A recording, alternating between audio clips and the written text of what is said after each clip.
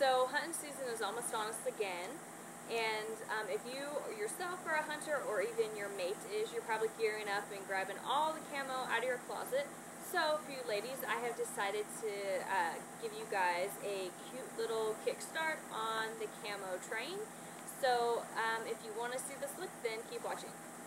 Okay, so for the camo scarf, it was a do-it-yourself um, scarf.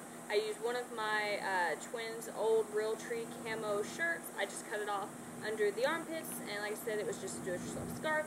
For the t-shirt, it's just a plain white v-neck t-shirt with a little pocket on it, and then I paired it with a neon pink tank top underneath. For the blue jeans, the, er, these are just uh, basic denim blue jeans. These are Rockstar from uh, Old Navy. And then for the boots, these are Bear Paw from TJ Maxx.